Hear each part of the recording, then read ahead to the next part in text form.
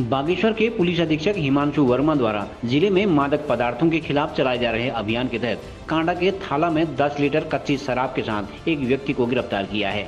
मुखबिर की सूचना के आधार पर कांडा पुलिस ने कमेडी देवी क्षेत्र में तलाशी अभियान संचालित किया। इस दौरान उन्होंने दानोथल निवासी प्रेमलाल को 10 लीटर कच्ची शराब की खाम के साथ गिरफ़्तार किया है। आरोपी के खिलाफ आबकारी अधिनियम के तहत मुकदमा पंजीकृत किया गया है। इधर पुलिस अधीक्षक हिमांशु वर्मा ने अवैध शराब व मादक पदार्थ के खिलाफ अभियान चलाने के निर्देश सभी थाना व चौकी प्रभारियों को दिए हैं। सीसीएन न्यूज़ के लिए ब्यूरो रिपोर्ट बागेश्वर।